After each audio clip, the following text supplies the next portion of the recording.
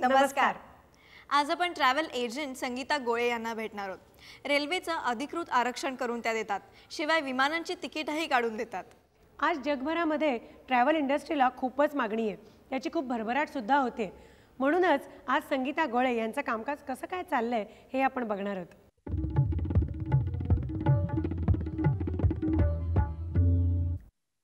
मी ह्या व्यवसायाची सुरुवात अठरा वर्षापूर्वी केली. माझे मिस्टर एक्सपायर झाल्यानंतर माझ्याजवळ काहीच पर्याय नव्हता म्हणून मी पहिल्या पहिल्यांदा पासपोर्ट आणि रे- एअर बुकिंग घ्यायचे. पण मग लोक मला विचारायला लागले की अहो एअर बुकिंग कारण तेव्हा रेल्वे एअर फारच कमी होतं. तर लोक विचारायला लागले की अहो मग तुम्ही रेल्वे का नाही करत? पण माझ्याशी रेल्वेला कसं जायचं आणि तिकीटं कशी काढायचं ह्याचं माझ्याशी अजिबात अनुभव आणि मला काहीही माहिती नव्हतं. मी पॅसेंजर आल्यानंतर मी त्यांना हो म्हणून पटकन सांगून टाकलं एका मिनिटात. पण आता इथून काय?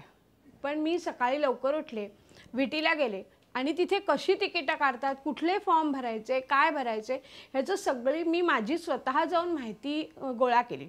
आणि लगेचच्या लगेच दुसऱ्या दिवशीपासून तिकीटं काढायला सुरुवात केली. आणि माझ्याशी अशी करता करतानाच माझ्याशी तिकीटं यायला लागली. सकाळी साडेनऊच्या तिकीटं काढून ऑफिसला यायचं. ऑफिस करायचं परत साडेसहा वाजल्यानंतर ऑफिस बंद झालं की परत तिकीटं काढायला जायची. आणि मी असं हळूहळू हळूहळू मी सुरुवात केली. आणि मग माझ्याशी कारण तेव्हा माझ्याजवळ खूप पैसा नव्हता तेव्हा मला नोकर ठेवणंही मला शक्य नव्हतं. मग माझ्याशी जसं जसं भांडवल थोडं थोडं वाढत गेलं तशी तशी मी नोकर करून मग त्याला सांगून अशी हळूहळू सुरुवात केली. तर मी एअरची बुकिंग तिकीट आणायला जायचे. तिथे मी त्या डिसोजांना सांगून ठेवलं होतं की तुमच्याजवळ रेल्वेची तिकीटं आली की मला द्या. तिकीटं नाही म्हणून म्हणू नका. पण ते इतके चांगले माझ्यासाठी त्यांचे आणि माझे इतके चांगले म्हणजे मैत्रित्वाचे संबंध होते की त्यांनी मला लगेच रेल्वेची बुकिंग सुरुवात केली. तिथेच गेल्यानंतर त्यांनी मला सांगितले की मॅडम काल जर्मन रेमेडीजमधून फोन आलेला आहे. तर तुम्ही त्यांच्याकडे जाता का? मी हो म्हणून म्हणून टाकलं. गेले मी लगेच. दुसऱ्या दिवशी ती त्यांची अपॉइंटमेंट घेतली. मी तिथे गेले. त्यांना सुनील म्हणून तिथे होते. मला ते भेटले. त्यांनी मला लगेचच्या लगेच बुकिंग दिलं. आणि आश्चर्याची गोष्ट म्हणजे त्यावेळेला मला त्यांनी एक लाखाचा चेक दिला होता. आणि मग मी तिथल्या लोकांना सगळ्यांना माहिती झाल्यानंतर ते आम्हाला बुकिंग देत गेले. आणि मग मी हळूहळू हळूहळू ही कंपनी ती कंपनी अशा कंपनीतमध्ये मी जायला लागले. पण काहीजणं क्रेडिट मागत तर क्रेडिट मी एक चार दिवसाचं देऊ शकत होते. ह्याच्या पलीकडे मी देऊ शकत नव्हते. पण त्यांना कन्व्हिन्स करून मी चारचे पा पाच दिवस चालेल मला. असं करता करताना माझी ऐपत होली होती की पंधरा दिवसाचंही मी क्रेडिट देऊ शकत होते. असे करता करतानाच मला आणि मग कंपन्यातून एकमेकांची ओळख होऊन ते कंपन्यांचे मित्रत्व जसे की रेल्वेला बुकिंग एरो सर्व्हिसेस चांगली देते. आम्हाला सर्व्हिस देते आम्हाला डिलेवरी मिळते ताबडतोब मिळते. असं करता करतानाच माझे बिझनेस कधी वाढत गेला हे माझंच मला कळलं नाही. आता मी म- हॉटेल बुकिंगला पण सुरुवात केलेली आहे. मी लोकांचं हॉटेल बुकिंग करून देते. टूर नेत नाही पण त्यांचा सगळा आम्ही चार्ट बनवून देते. की तुम्ही इथून जा तिकडे हॉटेलमध्ये राहा मग तिथून काय काय करा तिथून बघण्यासारखी काय काय स्थळं आहेत. मग तुम्हाला परत रेल्वेला जॉईंट होऊन तुम्ही रेल्वेची मी येतांचं रिटर्न पण तिकीट काढून दिल्यानंतर रिटर्नही तिकीट त्यांचं त्यांच्याजवळ असं त्यामुळे ते पण येतात. एअरचं रिटर्नचं जसं ज्या पॅसेंजरला खिशाला परवडेल तसं ते आम्हाला बुकिंग देतात. त्याच्यानंतर मला एक अतिशय चांगला अनुभव आला. म्हणजे मी पहिल्यांदा अनऑथराईज काम करत होते. तेव्हा मला रेल्वेने जरासा त्रास अनऑथराईज म्हटल्यानंतर त्रास हा होणारच. म्हणजे हे मी गृहीतच धरलेलं होतं. जेव्हा आपण ह्या व्यवसायात उतरलो आहे तेव्हा मी एकटी महिला होते हे त्यामुळे मला हा त्रास होणार. किंवा जे कोणी महिला नाही पुरुष जरी रेल्वेला होते तरी त्यांनाही त्रास हा होतच होता. त्याच्यानंतर मी म्हणजे असं मला द डेट एवढी काही पक्की आठवत नाही आहे पण आता जी मोठी माणसं असतील त्यांना सगळ्यांना आठवत असेल आमच्या मुंबईला रमाबाई नगरमध्ये खूप मोठं गदारोळ वाच ना वाजला होता आणि तिथे चपलांचा हार वगैरे घातला. त्यामुळे सगळ्यांना आमची क दुकानं वगैरे सगळे बंद झालेलं होतं. त्याच्यानंतर मला साडेसहा वाजता रेल्वेतून फोन आला. तो रेल्वेतून फोन आल्यानंतर सुद्धा मी दोन मिनिट एवढी घाबरले. बापरे मी त्यांना सांगितलं हो एक मिनिट थांबा. पहिल्यांदा मी पाणी पेले आणि मग त्यांना सांगितलं तुम्ही आता बोला काय म्हणता ते. मला असं काही सुचत ना रेल्वेतून म्हणजे माणूस पकडला गेला आणि काहीतरी प्रॉब्लेम म्हणजे मी साडेसहा वाजलेत वगैरे हे काही माझ्या ध्यानातच नाही आलं. तर त्यांनी मला सांगितलं की मॅडम तुम्ही रेल्वेसाठी जे ॲप्लिकेशन केलेलं आहे ते तुमचं पास झालं आणि तुम्हाला रेल्वेचं लायसन देणार आहे. ते मला भले दोन तीन महिन्याने मिळून दे पण तो काही आनंद आहे ना त्याचं मी वर्णनच करू शकत नाही. ऑफिसमध्ये आता आम्ही पा कॉम्प्युटर घेतलेले आहेत. त्यामुळे पॅसेंजरचा फोन येता क्षणी ऑनलाईनवर आम्ही त्यांना हे सांगतो. काय अवेलेबल आहे? ए सी सेकंड हवा आहे ए सी टू टायर हवा आहे ए सी थ्री टायर हवे काहीही नाही तर आता रेल्वेने सुविधा केलेली आहे ती तात्काळ बुकिंगची त्यामुळे तेही जरी अवेलेबल असेल तरी आम्ही लगेच त्यांना तात्काळ सांगतो. पण ते ख पॅसेंजरला खिशाला परवडायला हवं. कारण त्याची प्राईस जरा जास्तची आहे. त्याच्यानंतर रेल्वेने आम्हाला आता चार काउंटर दिलेले आहेत. त्यामुळे तेही आता आम्हाला पुरत नाही आहेत त्याच्यानंतर दुसरी सुविधा म्हणजे काय होते? माझी सर्विस प्रत्येकाच्या घरी असेल तरी आम्ही घरी सर्व्हिस देतो. क कंपनीत असेल तरी आम्ही कंपनीत सर्व्हिस देतो. कुठेही म्हणाल अगदी वेळ पडली आणि दोन तीन तास जरी का ह्याला असेल तरी आम्ही स्टेशनवर तिकीट देऊन देऊन टाकतो. पॅसेंजरला आम्ही नाराज ही करणं हे आमच्या कोटीत बसत नाही. महिलांनी जरूर ह्या ट्र ह्या एजन्सीमध्ये उतरावं ट्रॅव्हल एजन्सीमध्ये काहीच अडचणी नाही आहेत फक्त तुम्ही सचोटीने काम करा. आणि दुसरं म्हणजे प्रचंड एकदम आपण हवेत जाऊ नका आपल्या दारात गाडी दोन चार गाड्या येतील. म्हणून रेल्वे बँकेतून जाऊन लोन बिन भयंकर काढू नका. त्याचा इंटरेस्ट आणि तो सगळ्या डोक्याला आपल्या त्रास होतो. तेव्हा तुमच्याजवळ जेवढं छोटं भांडवल आहे त्या भांडवलावरच स्वतःचा बिझनेस करा. आणि तुम्ही पहिल्यांदा जेव्हा महिलांनी ह्या व्यवसायात उतराल तेव्हा तुम्ही स्वतः सगळी भर जा. आणि त्याची माहिती काढून ठेवा. तुम्ही नोकर चागर ठेवलेले आहेत आणि त्यांची माहिती काढून नका जाऊ. म्हणजे तुम्ही प्रत्यक्ष त्या माणसाजवळ गेलात की तुमचा पर्सनल त्यांच्याशी ओळख होते. आणि जे तुम्ही पर्सनल ओळखीने जास्त म मैत्रीचे संबंध येतात ते तुम्ही कोणावर तरी सांगून फोनवर ह्या गोष्टी होत नाही. प्रत्यक्ष गेलात की तुम्ही आपली कसं काम करायची पद्धत आहे ही ते पॅसेंजरला तुम्ही पटवून देऊ शकता. आणि त्यामुळे तुमचाच व- व्यवसाय वाढत जाईल आणि हा अजिबात धोक्याचा व्यवसाय नाही आहे पण ऑथोराईज सगळा करा. आज मिळून साऱ्या जणींची उत्कृष्ट कामगिरी बघायला आपण जाणार आहोत दादरला. इथे अखिल भारतीय महिला परिषदेची एक शाखा आहे. या शाखेमधल्या महिला गेली अनेक वर्ष तऱ्हेतऱ्हेची समाजाला उपयोगी पडतील अशी कामं अगदी उत्साहाने करतायत. इथं बालवाडी आहे कॅन्टीन आहे दिवाळीच्या खाद्यपदार्थांची विक्रीसुद्धा इथे केली जाते. इतरही अनेक उपक्रम इथं राबवले जातात. आज आपण इथल्या बायकांना भेटणार आहोत आणि त्यांच्याशी गप्पा मारणार आहोत.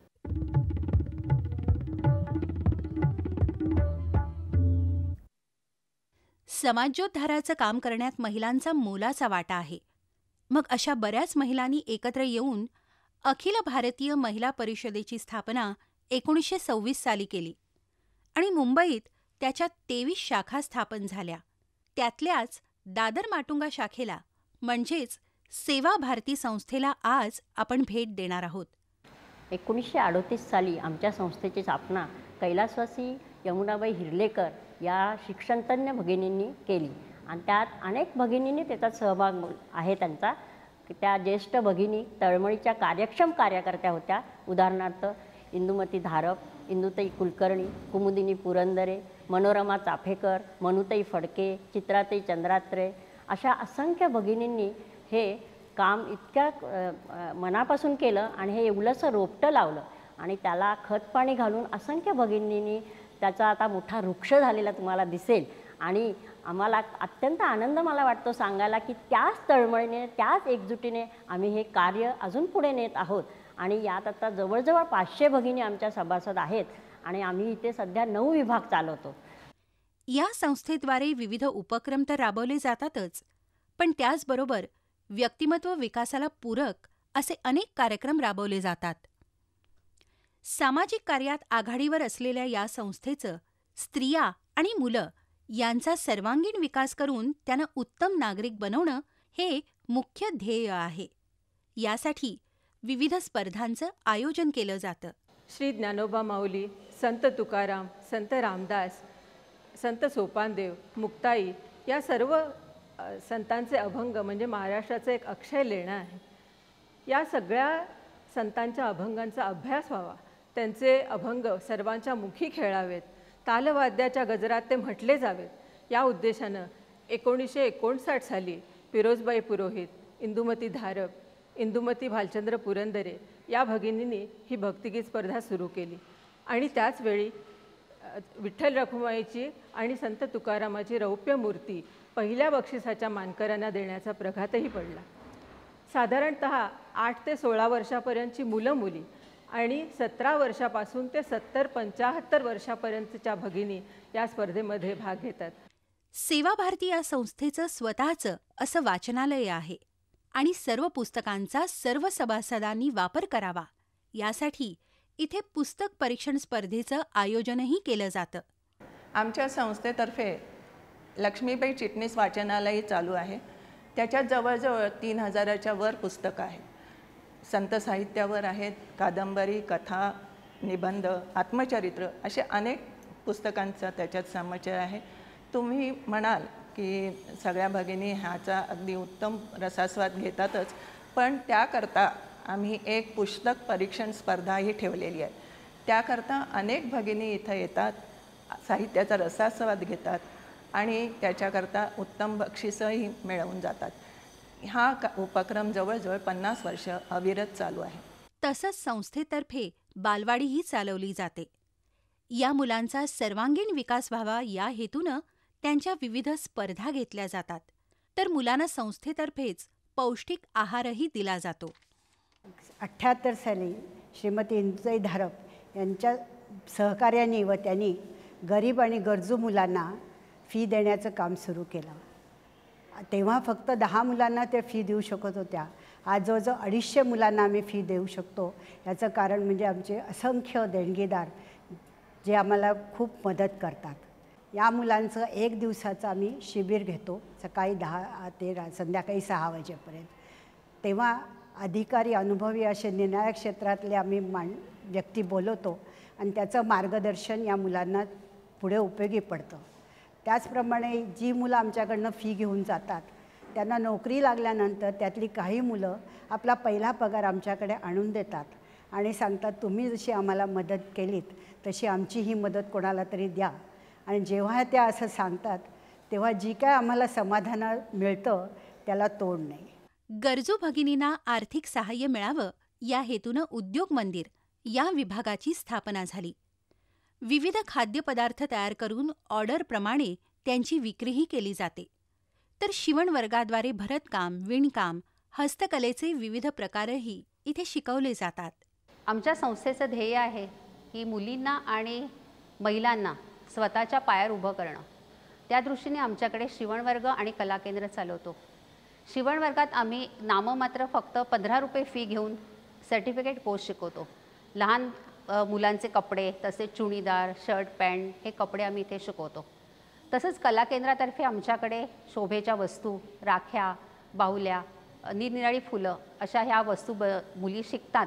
आणि आज त्या स्व त्या वस्तू विकून स्वतःची गुजराण करतात. शिवाय आज शिवण वर्गामुळे कपडे शिवूनही त्या आपल्या संसाराला हातभार लावित असतात. तसंच आमच्याकडे उद्योग मंदिर म्हणून एक विभाग आहे. या उद्योग मंदिरात सुद्धा आमच्याकडे आमच्याकडे येणाऱ्या ज्या सभासद भगिनी आहेत आणि आमची बालोद्यांची जी मुलं आहेत त्या मुलांना आमच्याकडे ताजा आणि पौष्टिक खाऊ आमच्या इकडे उद्योग मंदिरातर्फे करतो.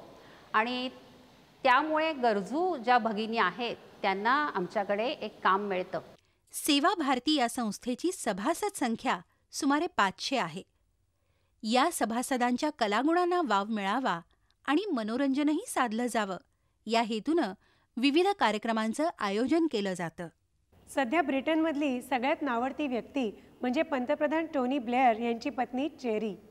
चेरी ब्लेअर नुकत्याच अमेरिकेला जाऊन आल्या आणि परत एकदा ब्रिटनमधल्या जनतेने त्यांच्यावर टीकांचा भडीमार केला. याचं कारण असं की वॉशिंग्टनमध्ये भाषण देण्यासाठी त्यांना पंचावन्न हजार डॉलर्स देण्यात आले. ब्रिटनमधल्या जनतेचं असं म्हणणं आहे की हे डॉलर्स त्यांना वैयक्तिक कामगिरी काही करून दाखवली म्हणून मिळालेले नाही आहेत तर फक्त पंतप्रधानांची पत्नी म्हणून मिळालेत. यामुळे कायद्याचा भंग झाला नसला तरी औचित्य भंग मात्र नक्कीच झालाय. खरं तर ब्रिटनची जनता ही राजकारणी माणसांकडून औचित्याची अपेक्षा ठेवते हेच कौतुकास्पद आहे नाही का? आज आपण नवकोरामध्ये सेमिकल्चर्ड मोत्यांची फॅशन बघणार आहोत. सेमिकल्चर्ड मोत्यांपासून किती तऱ्हेतऱ्हेचे दागिने बनवता येतात याची कल्पना सुद्धा करता येत नाही ना? आणि मुख्य म्हणजे हे सगळे दागिने ज्याच्या त्याच्या खिशाला परवडतील असे आहेत. अगदी पन्नास रुपयांपासून पाच हजार रुपयांपर्यंत. चला प्रत्यक्षच बघूया.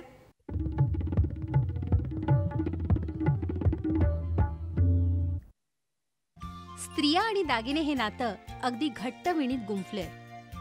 अलंकाराच्या सहाय्यानं आपलं सौंदर्य खुलवण्याचं काम गेली अनेक शतकं स्त्रिया करत आल्यात. त्यात मंगळसूत्र कानातले डूल बांगड्या अशा अनेक सुवर्णालंकारांचा समावेश यात असतो. त्याचप्रमाणे या दागिन्यांमध्ये मोती अग्रेसर आहे. समारंभ सणवारात या मोत्याच्या दागिन्यांनी स्त्रीचं सौंदर्य अधिकच खुलतं हे वेगळं सांगायला नकोच. बाजारात विविध प्रकारचे आणि किमतींचे मोत्याचे दागिने मिळतात. आमच्याकडं मोत्यांच्या दागिन्यांमध्ये साधारणतः राईस मोती जो हैदराबादी मोती येतो त्यामध्ये भरपूर डिझाईन्स वगैरे मिळतात. ज्यामध्ये प्रामुख्याने नेकलेस सेट्स पेंडंट सेट्स पारंपरिक दागिन्यांमध्ये चिंचपेटी तन्मणी नथा बाजूबन अशी भरपूर काही दागिने मिळतात. बँगल्समध्ये आणि भरपूर काही मोत्यांच्या वेगवेगळ्या डिझाईन्स आम्ही ग्राहकांच्या अपेक्षानुसार बनवूनही देतो. पारंपरिक दागिन्यांमध्ये पहिला मान जातो तो नथीला. आपल्याकडे नथ अगदी आवडीनं घातली जाते. तसंच बाजूबंद मोत्याच्या बांगड्या डूल असे अनेक अलंकार मोत्यांचे असतात. त्यामुळे वजनानं हलके सांभाळायला सोयीस्कर आणि ते कशावरही मॅच होतात. म्हणूनच मोत्यांच्या दागिन्यांना अधिक मागणी असते. हल्ली तर एक ग्रॅम दागिन्यांची फॅशन आली आहे त्यात मायक्रोप्लेटेड आणि मोती याचा सुरेख घाट घातलेले आकर्षक दागिनेही असतात. सध्या फॅन्सी दागिन्यांमध्ये भरपूर वाव आहे ज्यामध्ये वन ग्रामची ज्वेलरीज वगैरे ज्या मायक्रॉन प्लेटेड असतात ज्यांची प्लेटिंग साधारणतः अडीच ते तीन वर्ष मिनिमम चालते.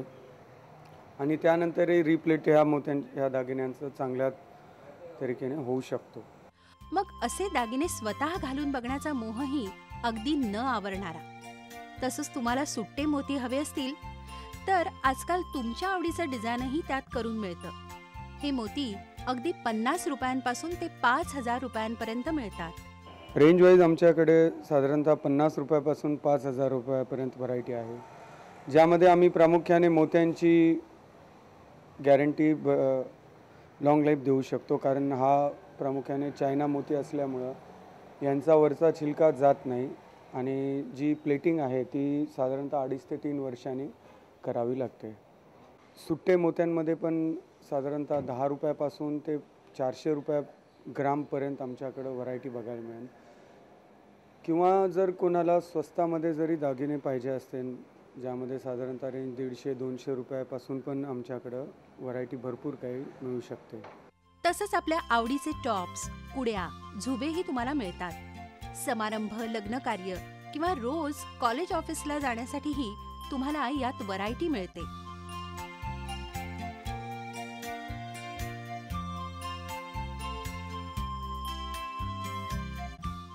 आता मानसीचा सल्ला. रोजच्या जेवणात मक्याचा वापर जरूर करा. मका हा जगातल्या पदार्थांमध्ये तिसऱ्या क्रमांकाचा पदार्थ आहे. गहू तांदूळ आणि त्यानंतर मका. मक्यामध्ये कॅल्शियम फॉस्फरस आयर्न आणि ई जीवनसत्व असतं. मक्याची भाकरी ही पौष्टिक चविष्ट आणि पचायला सुद्धा खूप हलकी असते. मका अनेक पद्धतीने वापरता येतो. उसळ सूप सॅलड किंवा भाज्यांमध्ये व्यंजन म्हणून असे अनेक प्रकार करता येतात. पॉपकॉर्न म्हणजे मक्याच्या लाह्या या लाह्यासुद्धा एक पूर्णान्न आहे. कारण लाह्या बनवताना मक्यातली कांजी जळून जाते. त्यामुळे कॅलरीजही कमी होतात. आता उद्या भेटूया. नमस्कार.